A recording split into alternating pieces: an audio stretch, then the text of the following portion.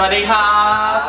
วันนี้อยู่ช่างฟานนะครับ แล้วก็น้องคัจจังครับ ผมได้รับตำแหน่งเป็นเดือนของคณะนิเทศศาสตร์จากมหาลัยธุรกิจบัณฑิตนะครับ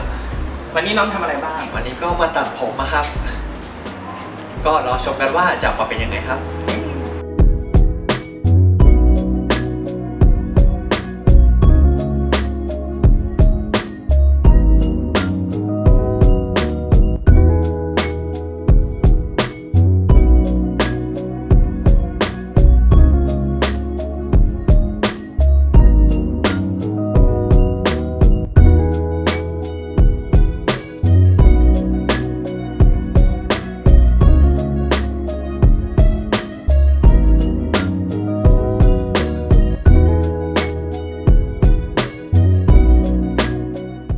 นี่ขจจังก็ตัดผมเรียบร้อยแล้วนะครับ